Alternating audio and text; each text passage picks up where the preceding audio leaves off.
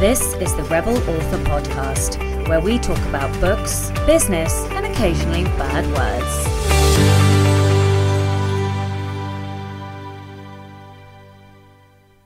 Hello, and welcome back to the Rebel Author Podcast, episode 15.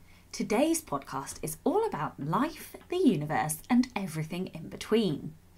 I'll be speaking to Rachael Herron in a moment, and boy, are you in for a treat. We go deep, or, well, Rachael digs deep. Uh, and that's one of the things that I love about her. She has this way of digging under the skin and getting to the questions that are, you know, philosophical. Um, and she also makes me confess a few things. But first to last week's question. I asked what you guys do for a book launch or what your favourite authors do.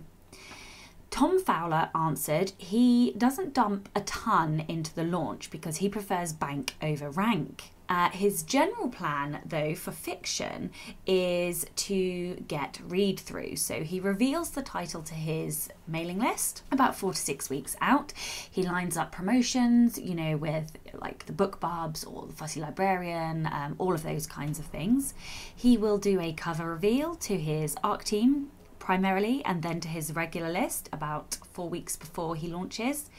And then he does um, multiple promotions. So um, he'll do price differentials, changing the price, increasing it as um, it gets closer to launch, and well, not closer to launch, as it goes through the launch. Um, he'll also he does cool things like adding the first couple of chapters of a preview uh, in the prior book, so he'll change um, his old book's back matter to include the chapters of a of the new book, which I think is ingenious. And guess what I'm going to be doing this evening? Um, he also updates the back matter, including links uh, for other titles, and um, yeah, uh, basically his priority is to make sure that um, all of those those things and the links are all up to date when uh, the promotions start, because obviously you're gaining a lot of traffic uh, with each of those books that are being promoted. And obviously, he will run Facebook and AMS ads on launch day two. Um, he says that his uh, series is in KU, so the pre order pimping doesn't really work that well for him. Um, so for him, it's more about uh, launch day and going forward. Uh, Ritu has a different um, launch plan. So hers is more around social media, arranging a blog tour, um, giving out ARC copies uh, so that the reviews are posted on either blog, websites, or social media. She arranged a social media campaign too, where her book and pre order graphics are being shared in relevant groups, and she tries to post it wherever she can. I also have another shout out this week, uh, which was from Shari. So Shari says, "Hi Sacha, just finished listening to Chris Kennedy's interview, and I couldn't, and it couldn't have been more timely. I'm taking a small detour from my usual genre of historical women's fiction to write a Christmas romance. Loved your interview and gathered up all kinds of craft goodies. And I have to say, I think Chris's uh, podcast has provoked the largest number of comments I've had since starting the podcast. So it obviously resonated. And for anybody who skipped last week's podcast, I highly recommend you go back and listen to it. I've heard from a lot of people who gained a ton of craft tips and tricks from it, myself included. So, to this week's question later on in today's podcast, I uh, one of the topics that comes up is self care or my lack of it. So my question to to you is, what do you do for self care? Let me know in the comments. Let me know on the blog post. Let me know in my Facebook group. Tweet me um, at Rebel Author Pod. But let me know what is your favorite type of self care. This week's book recommendation is Chillpreneur by Denise Duffield Thomas. This is one of the books that uh, Rachael recommends in the podcast, and also my dear friend Katie sent me uh, a copy to read. So I have just finished it, and I really, really enjoyed it. Um, kind of a girl power book, but I think anybody reading it would gain a lot from it. Um, I found it motivational, and I even finished it by listening to the audiobook. I think you guys will like it. So, in personal progress, oh OMG, I finally finished editing The Anatomy of Prose. It is now with my critique partner, and I I don't know how you guys feel when you finish um, drafts or edits or your book, but I tend to mentally throw myself off a cliff into a pit of despair. I the closer it gets to um, publication, the more I struggle, and this is just me being completely honest. I just question myself about everything. You know, was it? Um, is it good enough? Who am I to be doing this? And and I have a whole podcast coming on self doubt and um, imposter syndrome soon. But yeah, I am struggling. If I'm honest, it, it feels like there's more pressure to, you know, and I know it's all psychological and I'm just making it up and it's completely my own mental bullshit, but I like to be honest with you guys. So yeah, that is, that is where I am. And I'm not gonna lie, I am scared about publishing this book.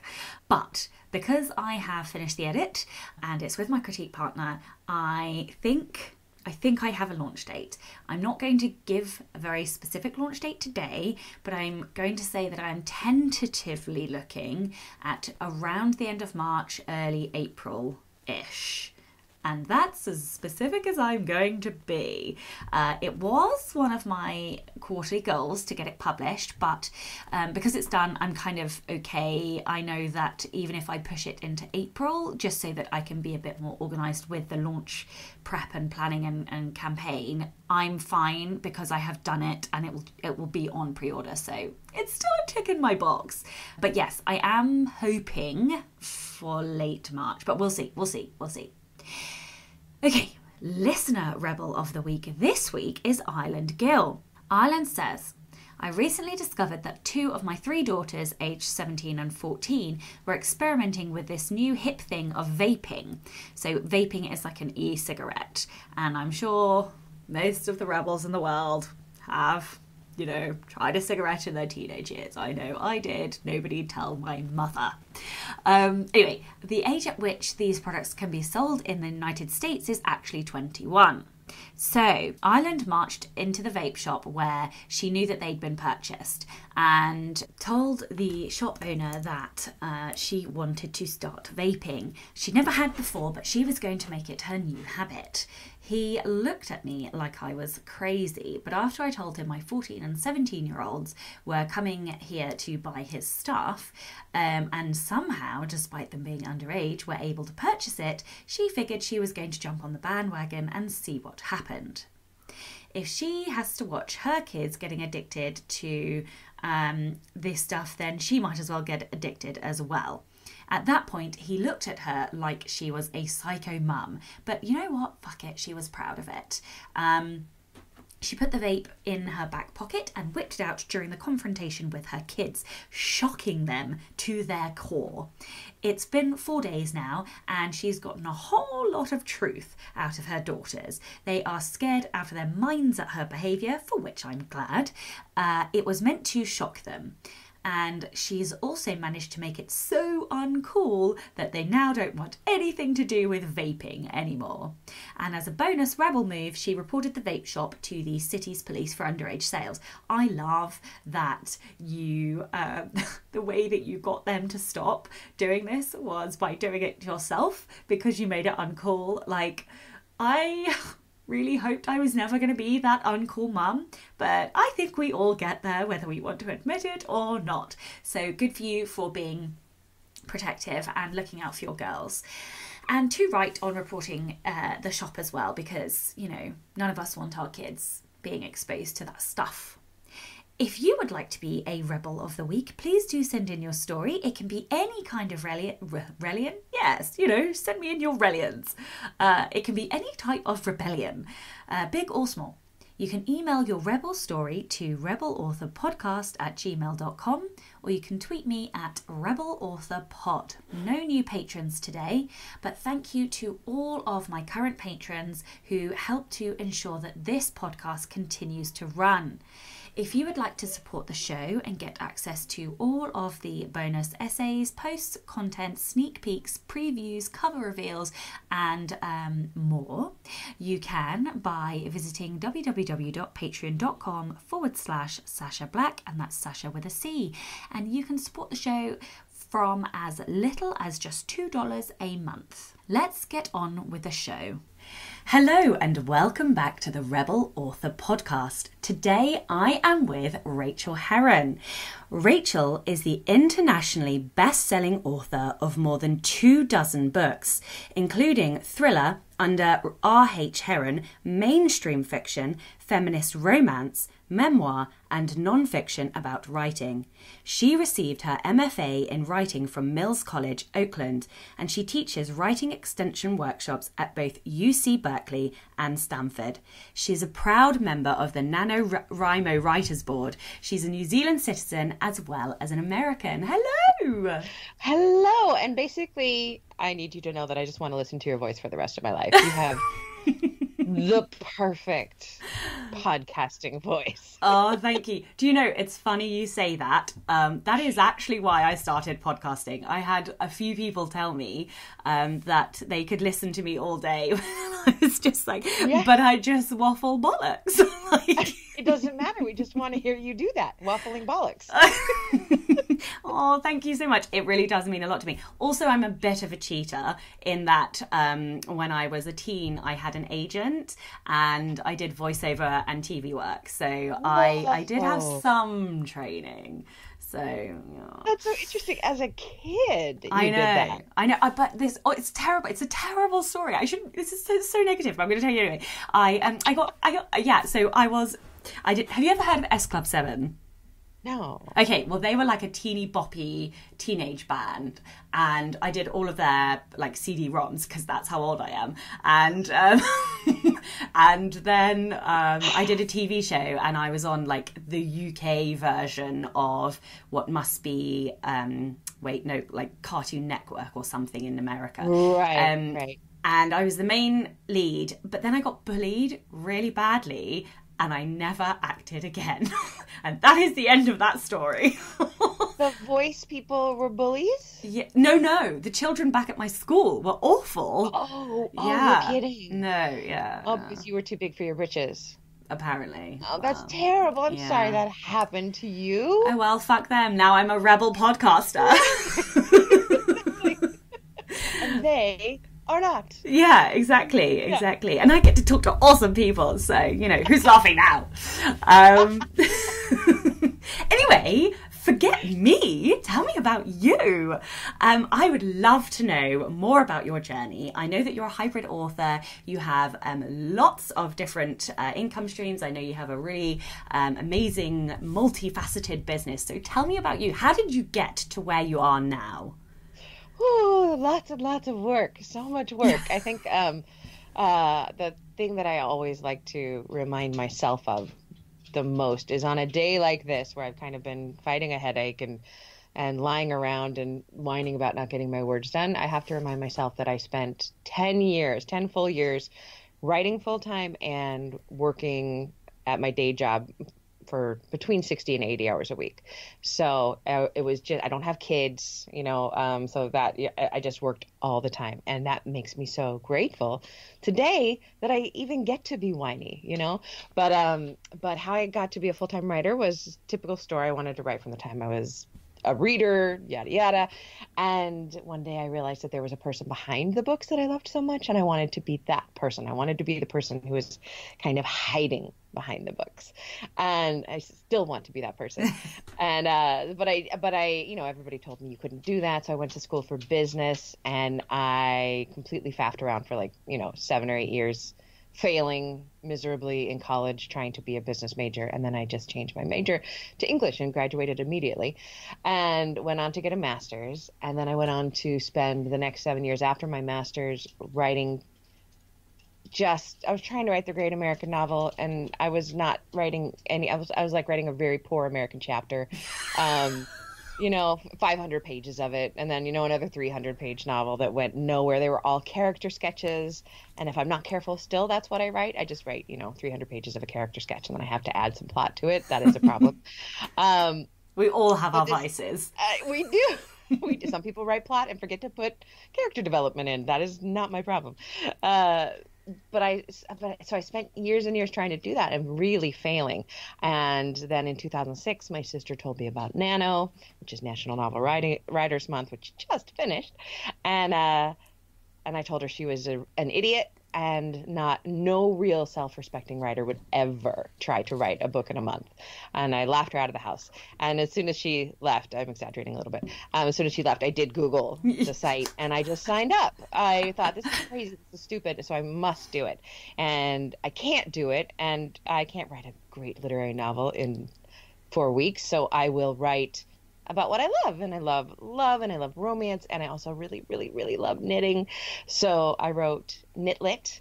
It was not a thing yet. Um, there were no there were no knitting romances out there yet. Um, so I was one of the first on the on the scene for that.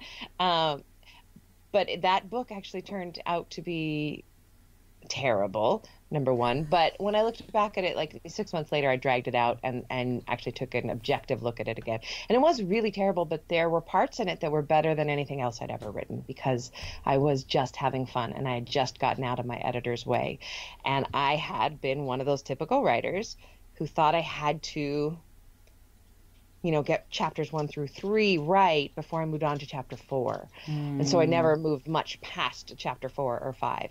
Um, and now I'm of the complete conviction that most writers, if they think revising as they go is their method, as I did, that is only true if you're completing books that you're proud of if you think re- revising as you go is your method, but you're not completing books, it's not your method. You are more of a, of a you must finish a terrible draft like 99% of the rest of writers, and then make it into something not terrible later. But the whole trick is getting the words on the page, which is what NaNo just really ripped off, ripped open for me to see. And I revised that book. Um, I make it sound so easy, but it, it wasn't. I didn't know what the hell I was doing. And then I, in the same manner, I found an agent. I didn't know what the hell I was doing. Um, quer- queried for a long time, got a lot of rejections stacked up, and uh, then suddenly I had two agents interested at the same time. So I got to kind of, you know, pick the one I loved, and I'm still with her. That was 11 years ago, um, and she sold that book at auction to HarperCollins in a three book deal, and so that was kind of the the fairy tale come true, right? It had it had really happened. Um, and I, I, I, like to, you, know, you might know from listening to my show, but I like to talk about real numbers uh, because no one knows in this industry what yeah. we're talking about. Like, what is it? What is an auction book deal? So it went for six figures, one hundred and ten thousand. So that was like thirty-seven thousand dollars per book, uh, which after taxes and everything, I was bringing home around eight, around twenty thousand of that um, per book. Each book, there was a book a year, so I couldn't quit the day job on twenty thousand dollars, you know, a year. Um, and those books completely bombed. so well, the first book sold the best. It all it almost earned out. Um, the second book came out the week the borders closed, so it came out to crickets and no sales for anyone that in those few months. And the third book did even worse. Uh, interestingly, they had been bought by um, HarperCollins in the in the states, but Random House in Australia and New Zealand, and I became a uh, Southern Cross eh, bestseller down there. People really liked my voice there um, in Australia and New Zealand, and so they kept the the series continuing um, because well HarperCollins wouldn't you know would have pushed me into the dark alley that I came out of, um, and rightfully so. I wasn't selling for them. Random House wanted me to keep going, so I kept writing um, I wrote two more books in that series and a novella, and that's how I became hybrid. Is my I my my name was Mud in America. My agent could not sell those other romances, especially that they were books four and five in a series. And HarperCollins, while they couldn't sell one through three, they're not they weren't going to sell us the right back the rights back, um, or anything like that. So nobody wanted those books. And this was right around, yeah, it would have been right around 2011 or so. Um, that I wrote those and just self published them myself because I could. I had the rights to all territories except for Australia and New Zealand. And I learned everything about self publishing through that venture. And I learned that I'm good at it and that I really like it. I really, really enjoy the process of being self published. So now um, I think I'm working on book 26. And I did the numbers the other day. I think um, 14 of them are traditional published, and the others are all self published. So I'm pretty. Pretty even, even out. Um, last year, I made exactly the same amount of money for TradPub that I did on SelfPub. Um, I am a six figure author for the last two years, which is crazy to me. But I would say that, you know, usually it's not more than forty or fifty thousand dollars of that is um, book money. It's it's the the other half is all hustle. It's coaching and teaching and um, Patreon and like you said, all of those different methods of income. And I really I am just so happy when one one stream of income gives me, you know, fifty dollars. I was like, yes, fifty dollars. You know, that's going to go towards this, and that's how we make this this writing life work. But um, about four years ago, I was able, almost four years ago now, I was close enough to bringing in just the bare minimum um, from writing that I could quit my job and still make up my half of the of the mortgage and all of our our our stuff. My wife she has the insurance for us, um, so that's great. In in America, I could not have quit if she if she hadn't had that insurance. Um, and then my mother-in-law got sick a few months before I was going to leap, and so I left a little bit early. I was like, why am I spending time saving up a little bit more money where I when I could you know leave the state and go be with my beloved mother-in-law. So that's how I made the leap. And for the last you know a little bit more than three and a half years, I have been terrified every single month that I'm going to end up living under a bridge so far we are still in the house. Like I make a lot more writing now than I did when I quit. And I was just thinking about that today driving home, uh, because when I quit, I knew that I needed to make. I think I can't. I can't remember if it was thirty six or forty two thousand dollars a year. That's what I needed to make to make my half of the bills and and pay everything. That was bare minimum. And it's only gone up since then. It's gone up every year by at least 17% and then it jumped into into the sixes so. That gives me a lot of hope. There are so many things i want to come back to you on this. Um before we before we before we delve into uh, the millions of questions that i want to ask you um NaNoWriMo. So tell me. So you talked a little bit there about um vomiting the first draft versus revising as you go. Um, and that you couldn't get past three or four chapter three or four because you were editing. So excuse me.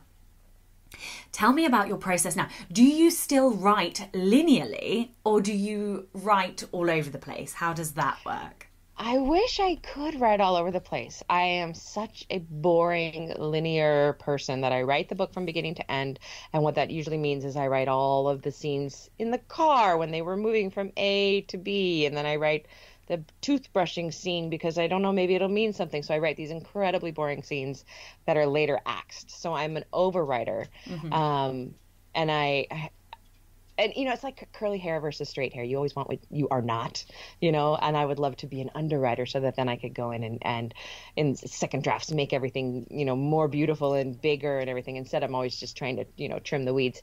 Um, and i still do the vomit draft. I still write a draft as fast as i possibly can. And it's only this year that i have i've been thinking a lot about just you know bigger things entering middle age, you start to think about you really start to think about you know who you are and who you've been and why you've been that way.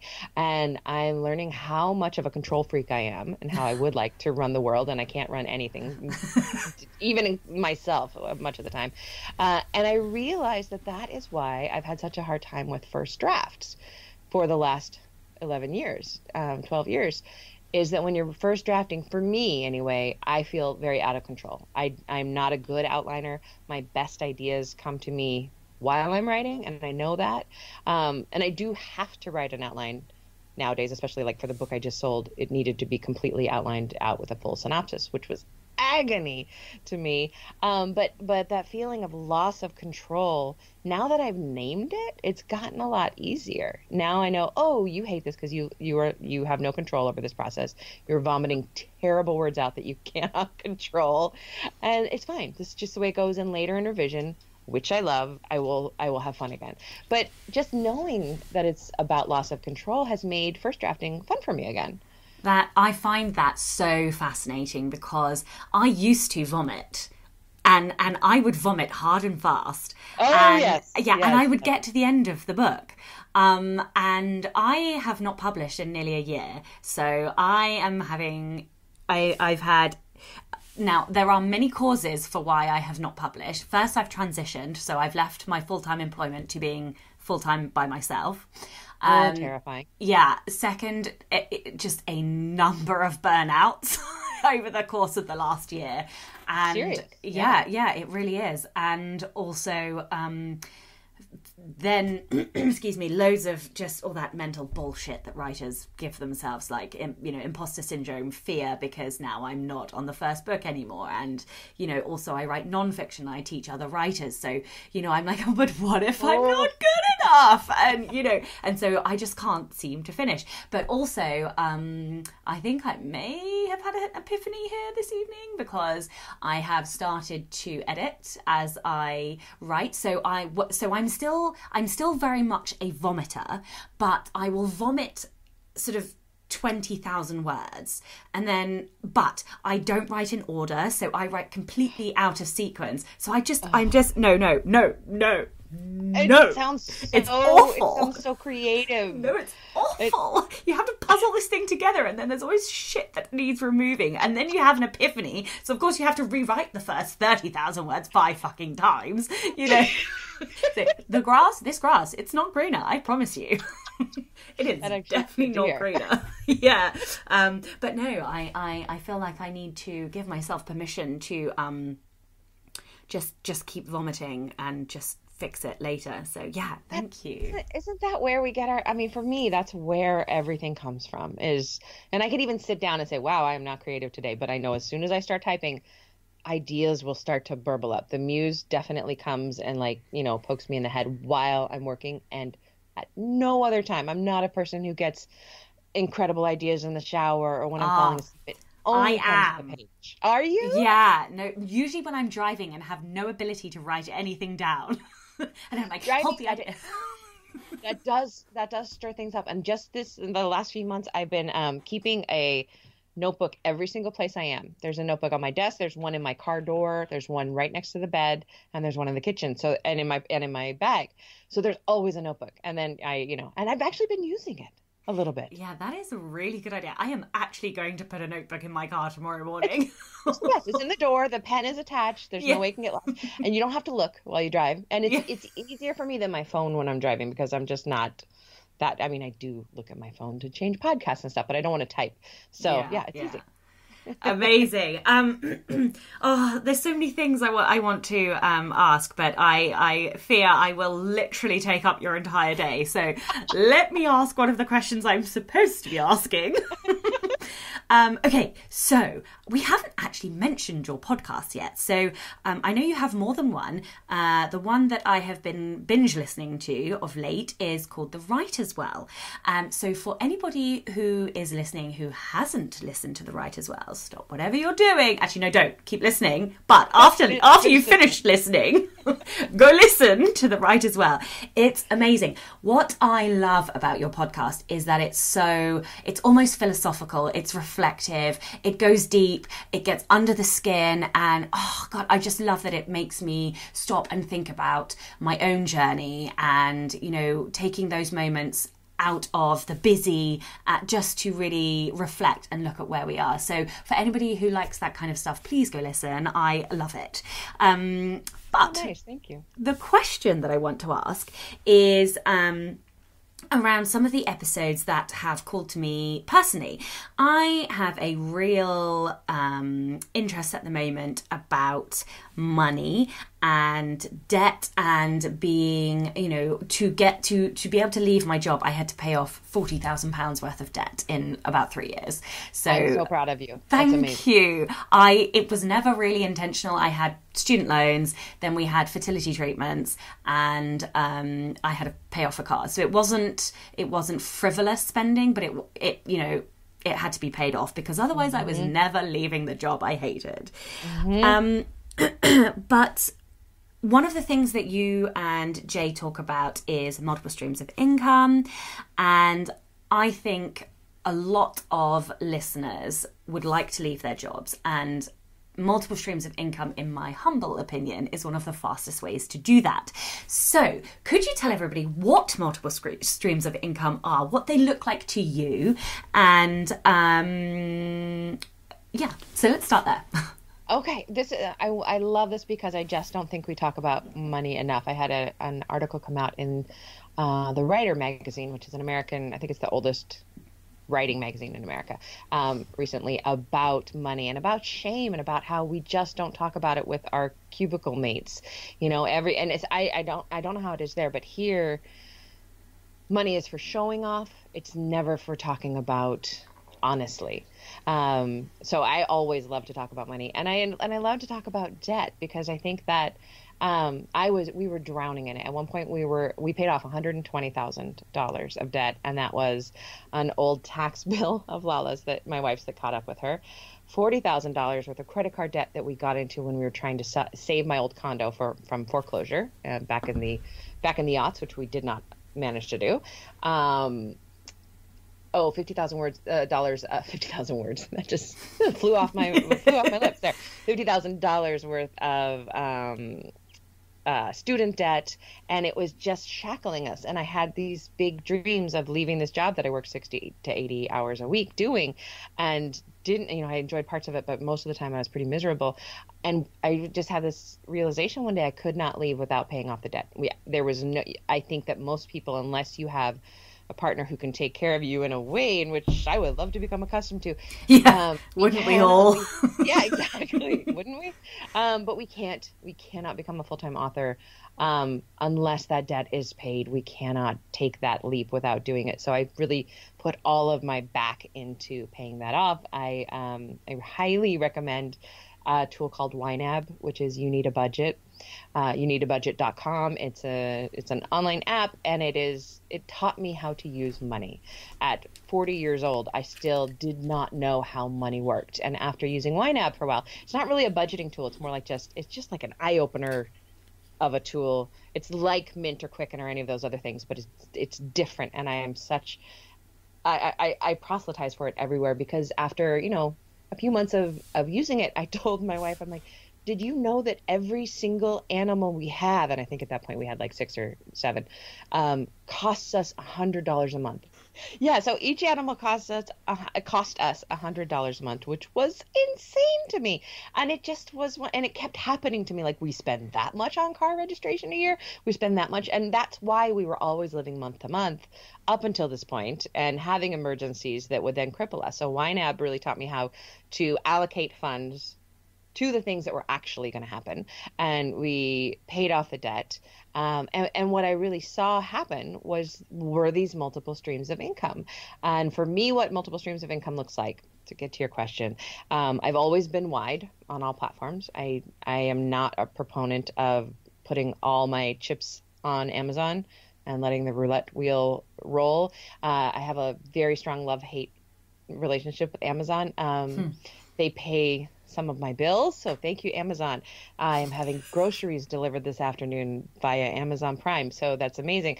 But also they're so scary. They could they could change everything we know tomorrow with a stroke of the pen. So I publish everywhere. I publish wide on all the platforms. I do um, print for everything. I'm available in libraries. I do audio, of course, for everything. And I have I've, I've, never done a royalty share. I've always kept the rights for myself, which means that there are some books that I have, you know, contracted out to audio artists that have never earned out yet. They've never never paid themselves, but I believe in having that money there. Um, let's see.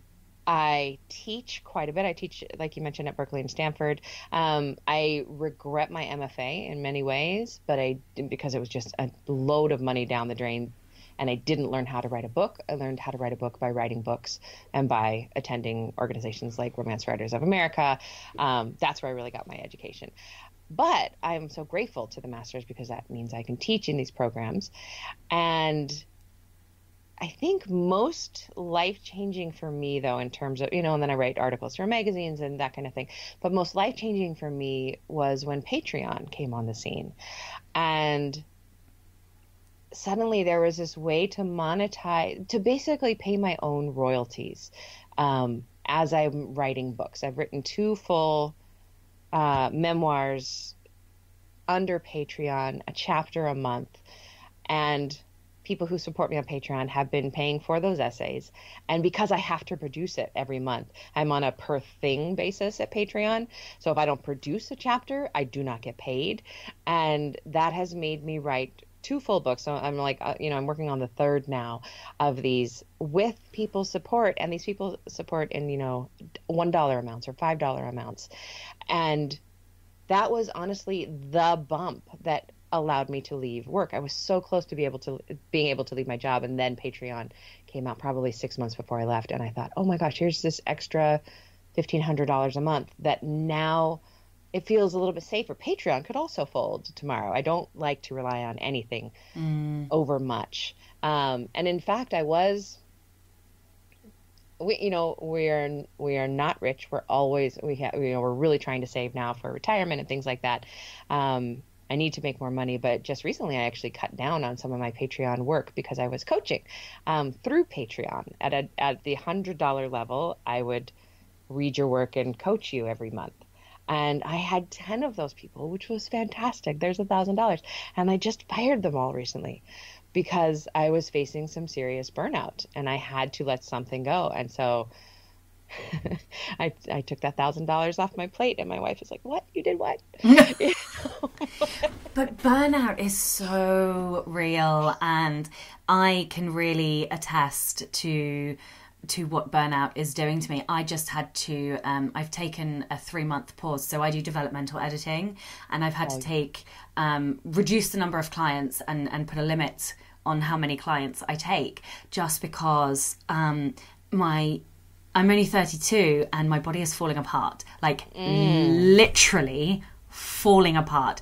Bits of me are breaking off. Like yeah. I, I, I just you know this should not be happening to a 32 year old. I haven't been well since September you know and that is not okay for a 32 year old you should be healthy and in your prime and blah blah blah but yeah it's it is it is real i, I wanted to ask you two things um, on the things that you just said um, First one, I wanted to delve a little bit more into the shame and why you think people feel shame because I totally agree. And you know, in England we have our stiff upper lip and you know, we we don't talk about these things only to judge others on what their job is. You know, that is all we do here. Um, and sorry for any British people listening. I do obviously love you all. Um, but you know, we do like to judge and have a stiff upper lip. Um, and and the other one is to ask you um, two questions. Sorry, I'm so bad. I'm just like all of the questions. Um, do you feel like a full time writer? And what does your working week look like? Because okay. lots of people say to me, "Oh, you're not a full time writer." And I'm like, but I am because I'm not in an office anymore and I can choose when I want to write, you know? So let's yeah, start, tell me. Let's start there. Let's start there. Actually, you are a full time writer. I am a full time writer. I realized this once when I, I did this thing um, for the first year or so after I left my job. I tracked my hours as if I were a lawyer or something, or as if I were going to, you know, pay myself according to every 15 minute segment that I spent doing things. And I was only writing at max when i'm writing a first draft i can't do more than like two hours a day of first drafting and then i just want to kill myself. So um, that was the time i was spending writing um, or revising revising i can do for longer. But but a lot of the days i wasn't even getting to that. And i but every single thing i was doing was contributing to bringing money in to to my household using my brain which understands words. So i i, I, I completely empathize with what you said about editing. For the first I think probably first year I was full time writing. I edited and I I now I hate nothing more.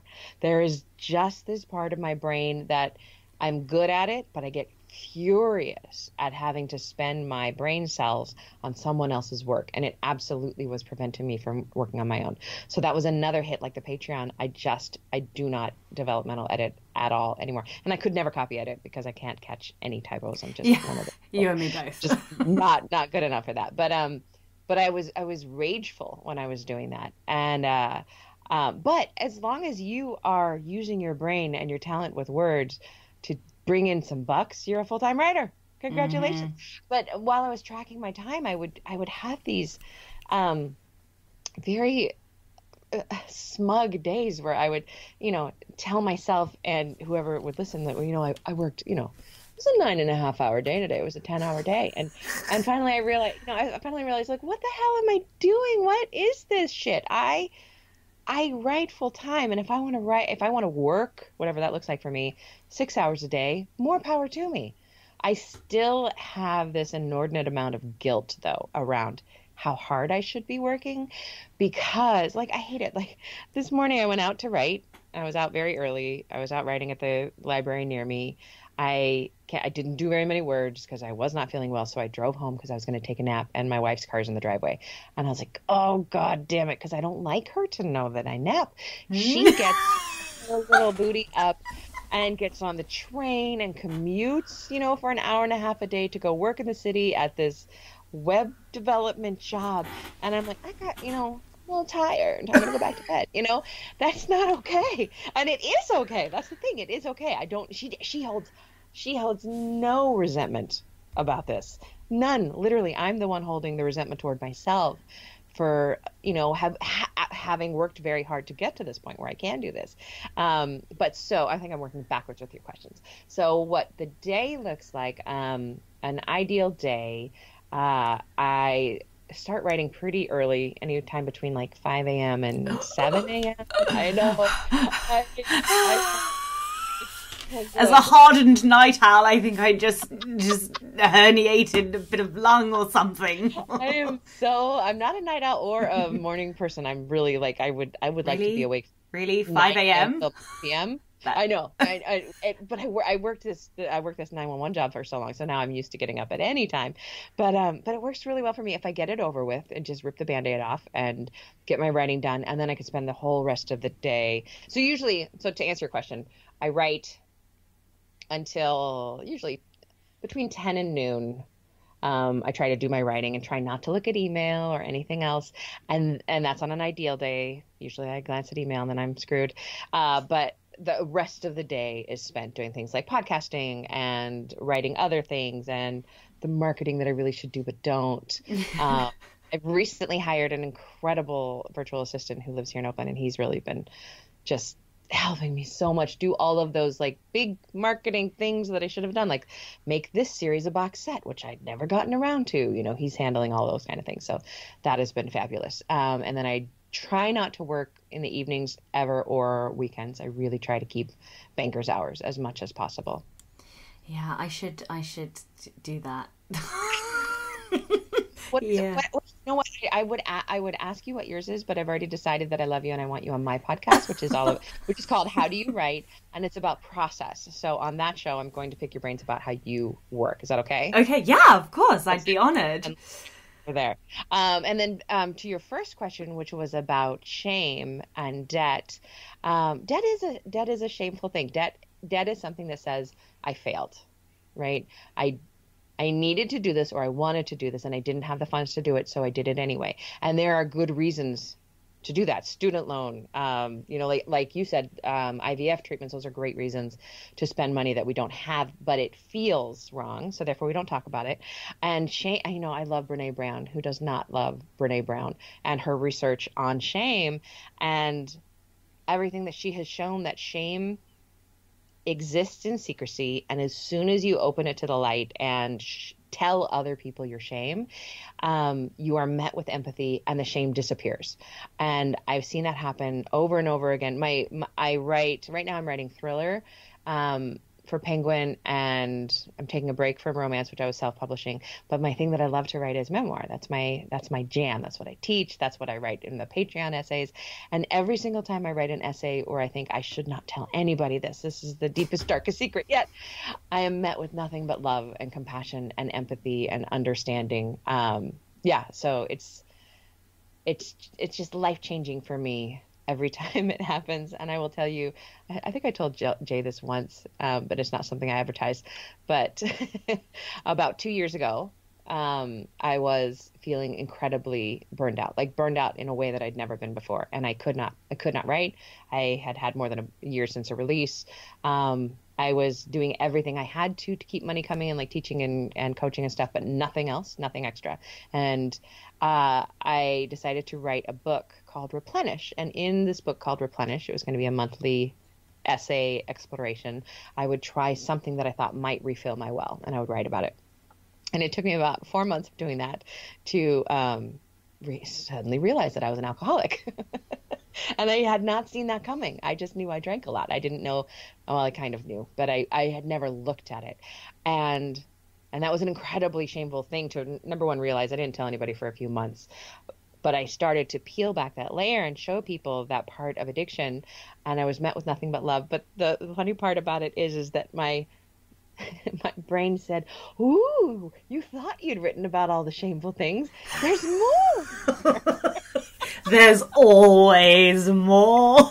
There is always more. Excuse me. Oh, I just I love um, every everything you've just said, and thank you for sharing that as well. Um, and also thank you for you know bringing up uh, Brene Brown. It's Brene, isn't it? I, I have her daring greatly on my um, Audible. I've already purchased. it. I just haven't listened yet. Um, but I was ashamed of the debt, and and and when I'd paid it off, I was like, but why? Because none of the things that I'd done, you know, I had to buy a car because we had a child and the pram wouldn't fit in my other car. You know, we were told, right, I was right. told I couldn't have, I wouldn't have kids because I'd go through the menopause before I was 30 they got it wrong and I'm fine, but we didn't for a wow. long time. Yeah, I know. It's a whole, that's a whole can of worms. and I love my son and it's fine. but I was real pissed back then. Um, oh, yeah, but you know, so you know, we made these decisions, and they had all these consequences, and they were all the right decisions, and yet still I felt shame about them.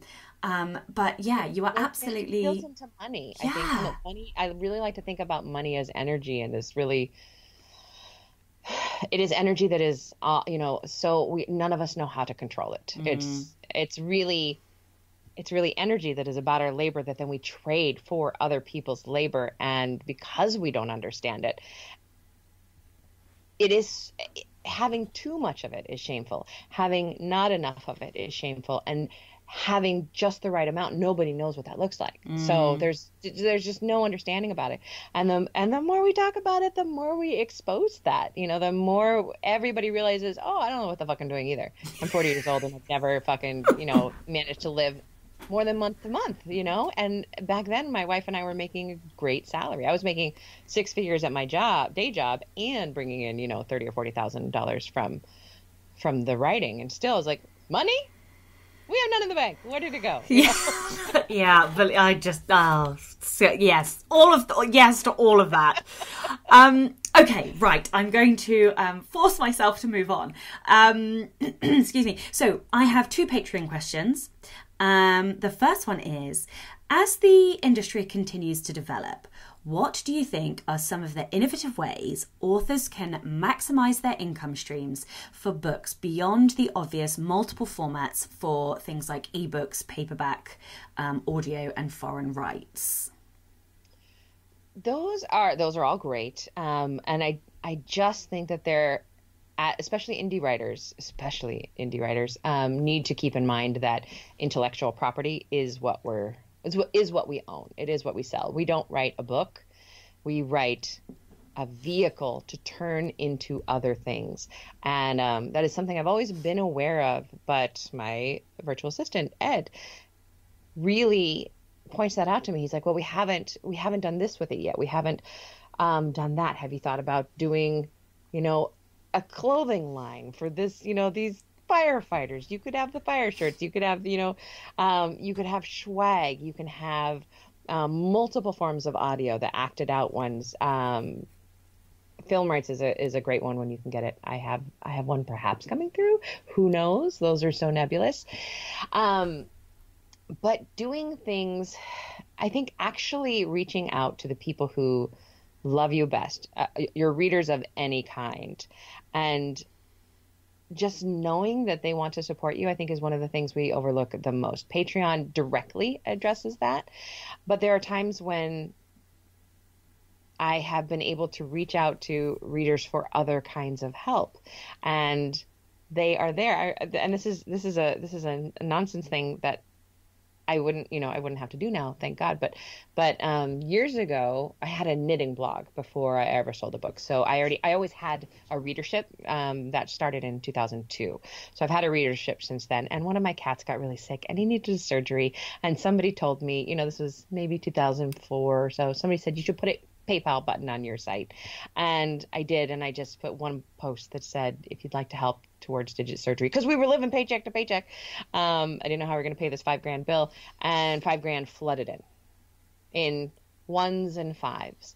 And I think that's the thing to remember about readers as fans is that they are generous to a fault, and that's why I try to treat them like the the amazing people that they are, and many of them have turned into real, real, true friends.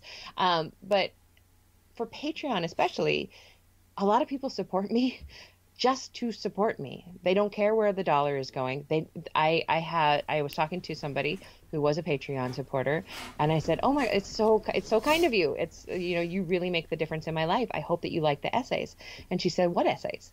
She hadn't even really opened the emails to see that I sent out an essay every month. She just, I had just told everybody at one point that I had a Patreon, and she's like, "Sure, here's a dollar," you know. Um, so I guess my long-winded answer is I don't have something specific that can make us all a lot of money. I wish I did, um, but treating the readers of any kind. I have kind of have them broken into two camps. I have my fiction readers, and I have the people who follow me about writing stuff, um, the, the writers on my list, treating them like the extraordinary human beings who support me, who literally support me. So I owe them a debt um, of my service and of my honesty and of my time. It's just this beautiful two way street. And I do this with other writers that I love. You know, I support Patreons or or you know I just buy their book even though I know I'm I have no time to read it, but I'm going to buy it in hardcover and I'm going to buy it at some place that is an Amazon. I'm going to buy it at an independent bookstore, um, even though I don't read I don't read hardcovers, but that is how I support them. Mm. And you know that so I think that's a very strange answer to that question. No, but I love it. Um, and I'm nodding along to so many of the things um, that you're saying because I have a Patreon, um, and I I just love that you can give to your patrons exactly what they want. So every single month, I make a point of sending a message to say, What would you like me to talk about or write about this month? And I get to I get to do that, and that is the best thing yeah. ever. And um, this the the thing I, I find scariest about it though is that I find I am bearing more and more of my soul um, in these posts, which I never intended to do. Um, but oh, you have good. such a close connection, you know. So that last month I was talking about perfectionism, and I. I have a long history with perfectionism and yeah. it, it is just destructive and i was you know um I just, you know, I, I, talked about all of my personal experiences and how I'd really felt about these things. And I almost, ironically, didn't press submit because I was like, this post is not perfect and it's on perfectionism. How can I submit that? But, you know, I had so many messages back from people saying, you know, thank you. And uh, this really connected more than anything else that I've read. And I was like, oh. that means more to me than anything, especially because I'd bared my soul, but also because it, it was something that they'd asked for. So, oh, I just love, I love Patreon. Now, are these are these essays that you're providing, or are, are they not videos? Or? not not but so that was that was yeah I, it didn't i didn't mean for it to be an essay but it was essentially an essay um yeah So let's make sure we promote ourselves right now. Where's your Patreon? Patreon.com slash. Sacha Black Okay. And mine is patreon.com slash Rachael, R A C H A E L. So that's out there. And this is another thing I encourage writers to do is sign up for other people's Patreons and see how they're doing it right. And then steal those ideas for yourself. this is how we do it. I follow Amanda Palmer just for that reason because she is so incredible at Patreon and, and she's so incredible at treating her fans like stars. And that is what i want to do too and and follow in that. So people should follow us. Absolutely. Um i have just also funny enough because amazon the bastard during the black friday sale got me with all of the two for one on audiobooks. I'm like amanda palmer's amanda palmer's. I've been she's been on my wish list for ages. That is such a good book. Yeah it's a beautiful book. It's oh i don't I, I like her music but i love her as a conduit for truth more than more than anything else. And she's a little bit annoying on Instagram, but that's all right. We all are. yeah, we, we all have our. I, I mostly post about lampposts. It's it's the whole thing. Um, anyway, I Mine are about very expensive animals. You know, that cost dollars a month. exactly. We all have our weird nuances. Um, okay, so following on from that, um, the second Patreon question was how do you choose and manage income streams that work well together without overwhelming or burning yourself out? And I think you've probably covered a little bit of that and the choices that you've made. But yeah, if there's anything yeah. else you can elaborate on. For those kind of things, it's just getting it wrong. It's just trying things, getting it wrong, um, and realizing that in all aspects of our business, we are allowed to change our minds. Like I used to have a level um, at which I would gosh, I would send them a postcard of thanks, you know, um, whenever I traveled or something like that. I would send them a postcard. I'm the worst postcard letter mail person in the whole entire world, so I never fulfilled it. It never got done. And then one day I thought, oh, I can just change that to something else that it, I do not have to go to the post office for.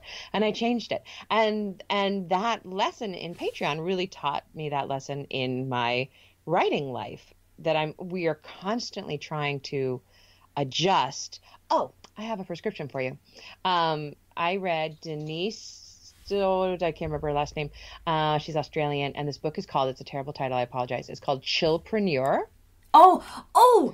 So Katie, shout out to Katie Forrest. Hi, Katie. Um, she has actually posted me this book, and it is no on way. my yeah, it's on my bedside table, ready to read. And I and I just I, I it is about two books down. But yeah, no, it, just move it to the top. Okay, fine. Move it to okay, the fine. top, especially if you're dealing with any kind of burnout right now. Because I went on this vacation um, last month, and I re- and and I read it while we were gone, and I realized, oh, I am hating being tied to this Patreon coaching, and my brain said it is one thousand dollars a month. You absolutely cannot give that up. And my next thought after reading this book was, oh, but I must.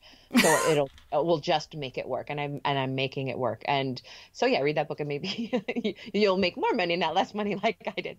But it's but it's a beautiful way to remember that we get to change anything we want at any time, and that's part of having a small business you know it's and amazing. giving ourselves permission because i'm one of these people that um I, I'm very, uh, what's the word, uh, yin and yang in that I will rebel against any rule that is placed on me, but at the same time, sometimes I forget to give myself permission and get very stuck doing the thing that I think I have to do.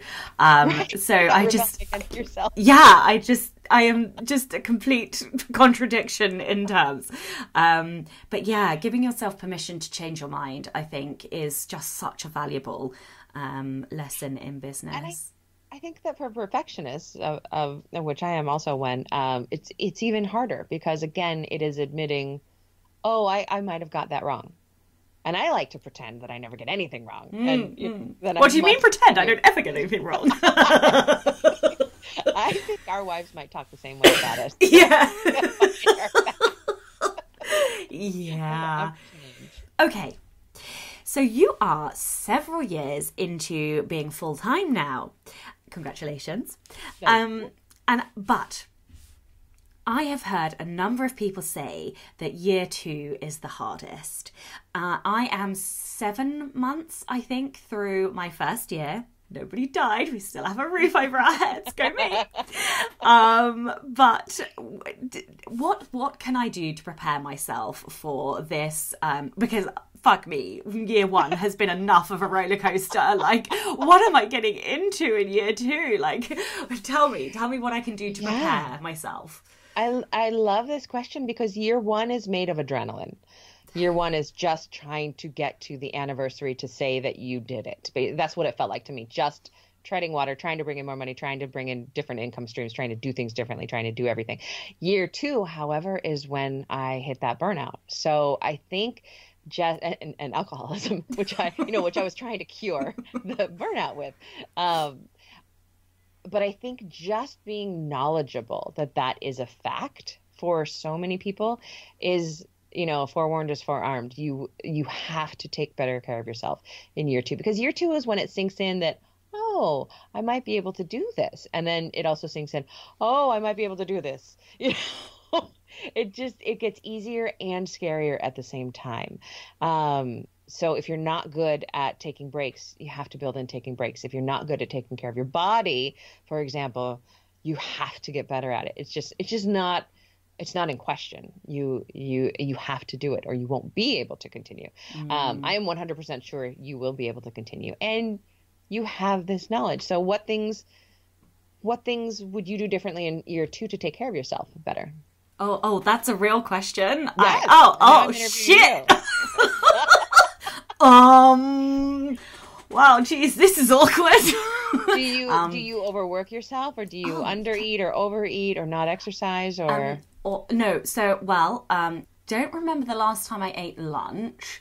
Um, I, I I do exercise. I uh, I do taekwondo, and I see your yeah, shirt there. Yeah, just just won the British Championships for ladies in my belt category. It. Yeah, I know. So I'm like cool. a total badass. I'm like a secret ninja. Um, well, things are also falling off of you. You're you're knocking also, them off. Also, yes, that might also have an impact. Um, Maybe also I, pick up swimming or something. Yeah, yeah, something less head kicky. Um, it's fine. I won nine 0 It's fine. And I... that's amazing. Wow. Uh, um, and I meditate, so that's about pretty much the only things I do to look after myself. In terms of um, working, yeah, all all of the hours I I'm now I've literally today I was like I need to schedule in evenings when I don't work. Um, yeah, no, I, I've actually put them in the calendar. That's the only way I can do them. Is oh, okay. It, I am such. I'm I'm weird. I'm either a workaholic or I have a migraine and I'm down. But my my body just knocks my feet out from under me when I need to when I am when I am working too hard, and I have a very hard time turning this off. And it's in our house. This is in our house, so we can't really walk away and work is always there. And so sometimes now I actually close my computer and I leave my phone in another room and I go and have dinner and you know hang out with my wife and and it just feels so wrong, but we have to. Mm. We just have to. Mm. I'm gonna yeah. work on that. Sorry one. for the bad um. Okay. So another going back to money. Then I am really interested at the moment, and I feel like I have a book brewing on money. Um, although yeah. I don't know, I, I don't know if I'm the right person to write it. I don't know if I don't. I, I don't know. Anyway, like if it's brewing, you probably are the right person, and yeah. and you know how we learn things in order to write books. That's yeah, well, exactly, and and you know I'm I've just come through one end of the journey, and now I want to make all the money. So you know I want to do yeah. the other end of the journey, which brings me to my question. Um, I am really interested in how authors level up their business. So, what do you think are the key steps you took to, t- to take your business from, you know, tens to hundreds to hundreds to thousands a month to ten thousands of month, uh, to you know that thing.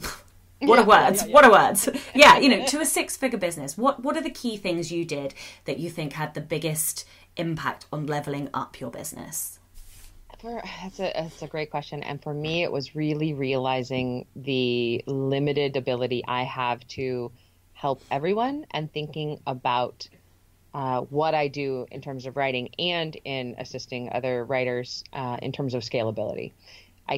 If you if you if I was helping everyone on a one-off basis for half an hour at a time, I'm not very I'm not making that much money and I'm exhausting myself. Um, so making that actual choice to put that time back into writing, which is something that becomes then intellectual property, which is something that I can then harness and do at least five things off the top of my head with, you know, out there. Um, it is why I'm currently working on making more courses. I only have one course out there, and it brings me a steady stream of money every month, and it has since I put it out there since before I quit my day job, so probably five years ago. And I just need to do more courses rather than working with people one on one. I'm building courses. I'm I'm just writing more because that's the part that is scalable. Um, I'm doing this.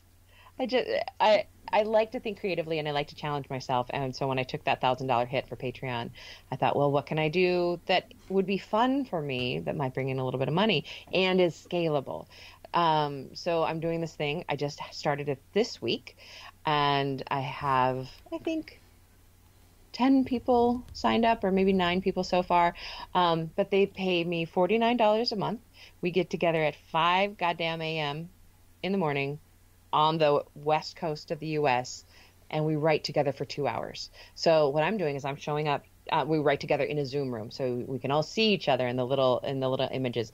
I talk, I encourage. They get into little groups and talk amongst each other, and then we just write. So what is, what is happening now?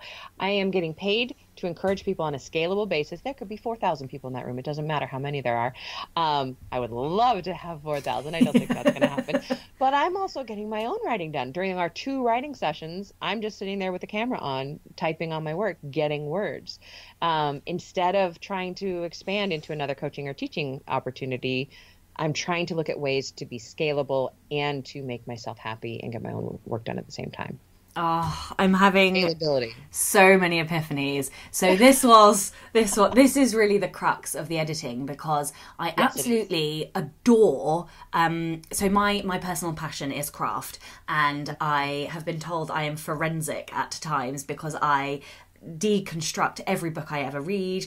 And I'm writing a book now called The Anatomy of Prose, just because I I collect sentences. I excuse me. I've written blogs for years about you know how somebody does foreshadowing or how they've created characterization down at the sentence level or whatever anyway um so that was how I ended up falling into editing. Um, but it's so time intensive and you're only helping one person. And it's frustrating because I want to help everyone. you simply need to write more books about how to write better books. Right. But and that's the epiphany I just had right now yeah. because I'm like, oh yeah, that's a that's a really good point. Like I just need to to to stop doing the thing which is one on one and do the thing which is one to many. Um and and but also then, and if, oh, sorry, sorry, no, no, go ahead. I was just going to say, in terms of intellectual property, every time you write a book, that is another piece of that is another thing to turn into a course. And people yeah. don't buy either the course or the book; they buy both because mm that's what we do as humans. That's what I do when I find somebody whose voice I resonate with. I buy everything. I just mm want all of the things that they've written about, right? In in terms of craft, in terms of storytelling, and in terms of this business. But I interrupted you. Go on. Oh no. Well, no. I was I was just going to say. So so I've I've sort of got three or four course ideas, but um, I just need to get over myself and the imposter syndrome and the perfectionism. just get them fucking done. Because um, I've I've started say number of times and I just can't get myself to the finish line. But um, it's hard. Courses yeah. are so much work. Yeah, that's the thing that I've been putting off for a while. They're just so much work, and no one can do them but us. Yes. I, cannot, I can't hire that out to my VA. no. no, I know. Oh. Um, okay, my favourite question. This is the Rebel Author Podcast. So, tell me about a time you unleashed your inner rebel. I looked over your questions, but I like to kind of surprise myself, like I like we do on the writers' well. So I didn't think too deeply about it. But I, but this is the answer that occurred to me when I looked at them, and it's occurring to me now, and it's dull. I'm sorry, I'm a boring person a lot of times, but quitting my job was the the biggest fuck you I have ever given to anything because I was raised from a blue collar, hardworking family, and you went to job and you took your paycheck and you went home and you lived your life, and that is how my you know dad retired that that way, and I had I, had never lost a job. You know, since I got out of grad school, I had worked continuously, always more than 50 hours a week, no matter which. I had three long-term jobs after after grad school, um, all in the same uh, kind of subset of what I was doing, which was 911, and and to quit felt like the ballsiest, stupidest, most terrible thing that I had ever done. Like it was just not acceptable for me as a human being who should be a contributing member of society and, you know, pay, you know, get paid by the man and take it home to actually say, no, I quit and to go out onto this, this high wire and try to balance there. You know, I'm picturing like the wind blowing me and how dare I do that? And the day that I, the day that I went in and told my manager that I was quitting, um, number one, she was stunned. Uh, number two, she almost talked me into staying. Number three, I had to go home from that shift with a migraine. I stressed myself into a migraine because I was so upset about this this anathema thing that I was doing. My whole goal, my whole adult life had been not to lose a job, like to do everything perfectly so I would never lose a job. And here I was losing a job on purpose. I know, but I, isn't I it want your wonderful? yeah. How did it go for you when you quit? Um, my boss knew. I sat. Oh, I sat down, and he and he just. It must have been written all over my face, like the biggest. Ha! Fuck you! I'm going. See you. Fuck you. Bye. you know, uh, because he was like, "Ah, you're leaving, aren't you?" And I was like, "Yeah." See, but you are. This is such an interesting question, the way you ask it too, because you are a rebel. If you're looking at like Gretchen Rubin's four tendencies, I'm sure you're a rebel. My wife is a rebel. I am an upholder. I uphold Oh. everyone's expectations about myself, including my own. And so to throw a good job into the air like that, I'm still I'm still shaking almost four years later. So that was uh, that was a, a rebel thing that I did. Yeah, no, but it's and it's just one of the best. I love hearing people's I quit stories. So I like, yeah, I absolutely love it. I um, yeah, the rebel thing is so funny. I am so rebellious. I will al- also argue with myself over over things. Like it's just it's so it's infuriating. I if I try, it's like deadlines. Like I love. So my Myers Briggs is a, I'm an E ENTJ, although I'm EI borderline. So I'm sometimes I'm really I and then sometimes I'm really E. But um, so I really like structure and deadlines. But God damn it, if I put a deadline on myself, I will do everything to rebel against it. Like it's just what is wrong with me? Like, oh my god. You know? That's hilarious. um oh yeah for you not for me Yeah, no, it Oh, sounds yeah okay so tell readers where they can find out more about you and your books and your patreon and your podcasts and all of your things Uh, everything could be found at rachaelherron.com, and of interest to your listeners might be the For Writers tab. Um, and I send, I have an email which I normally send out um, a weekly uh, email of encouragement, which I haven't been doing recently because I have been just lazing around. Um, but there's that. Uh, Patreon is patreon.com slash Rachael. I also lead retreats, um, and that's a fun one if you want to sign up for the writers. I'm going to Barcelona in April, and I think I still have a couple slots there. So that's all available from the For Writers page on rachaelherron.com. Oh, and the podcasts are The Writers Well, uh, which I co-host with J. Thorn, and we just talk about the experience of being a writer and we always bring one of us brings the other a question that they don't know about in advance and then we have to really talk about it. And we are very honest. They can be very very deep hard, difficult questions and they can be very light and softball. Luckily he softballed me yesterday so that's that's excellent. Um, and then my podcast is just called how do you write? And i speak with writers about their processes because i'm always looking for the magic bullet that will make my own process easy and i haven't found it yet so i'm going to keep the podcast going. And at some point Sacha Black will be on there too Oh, shucks.